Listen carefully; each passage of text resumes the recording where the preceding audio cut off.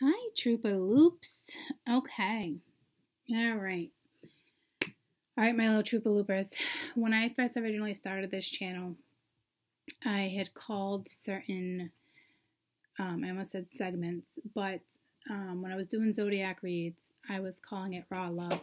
And I was calling it raw love because to me, raw love, it's, it's pure, right? Um, and at the time, I didn't know what pure love was besides the love of my children. Um, clearly, in you know, marriage is not marriage not working out. Um, in in scenarios not working out. So, I am starting a new read. I am calling it raw love because now I know what pure love is. Um, and it's it's not always easy when it comes to being in an intimate relationship. Okay. Like putting children aside, we, we know what that type of pure love is. But um, when it comes to intimacy, um, I am bringing back raw love. Okay.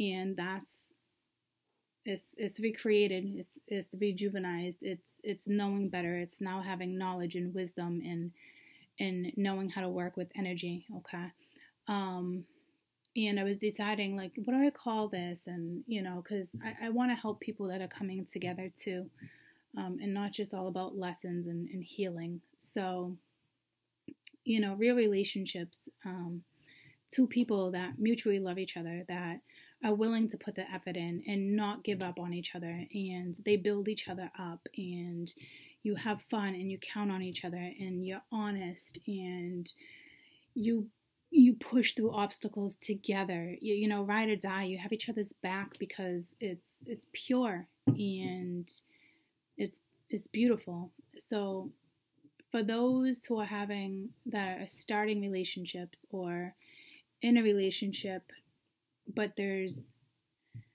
you know reciprocity, there's equal give and take, and you guys want to make it work and there's no stopping you because you, you both love each other that much, then these reads are going to be for you. Okay.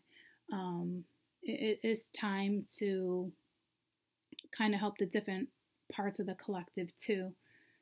You know, because there's always ups and downs in, in raw, raw love too. But if the two of you are putting effort in because there's just that much love, then it's it's worth you know, doing this type of read because, again, there's always going to be ups and downs. So, and it can give you a little heads up on, you know, certain areas of your life that need attention that we forgot, that we forgive sometimes in the midst of our crazy lives ourselves and playing mom or dad or working. You know, there's there's always a little neglect here and there. So I'm just hoping that this read that I do um, can just fill us in that way so we know if, you know, someone needs a little more um, attention or needs, you know, something needs a little more work or if you lose focus or if you work too much and, you know, you need a break, a vacation, to retreat.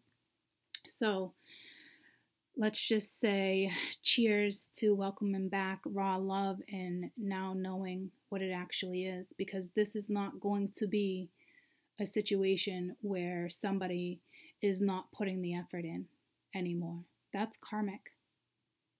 Okay, so let's hope these lessons have been learned. This this new read is for those who who know, two people that are willing to put the effort in. Period.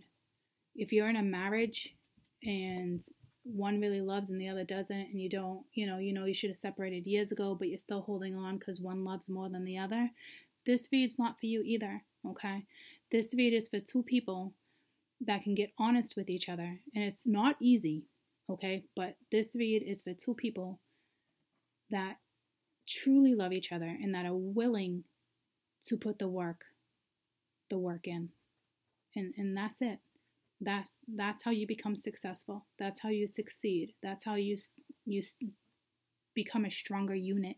That's how you become powerful. Okay? So welcome back raw love and cheers for those who have learned that and are on that path and it's it's right around the corner or it's it's already here and it's just putting it together or it you know it started and you're dating and you know you guys are the people you know it's it's, it's tough okay? So if you're just starting you're just putting yourself back out there you're allowing vulnerability you're allowing things to play out you're allowing things to take time this will be your read okay? Um and i will do I once in a while with these, I, I um was thinking about bringing little bit of Patreon. So yes, okay. Um, I'll figure that out, but it, it is time to um to help more of the collective. Okay. So I love you guys. Bye.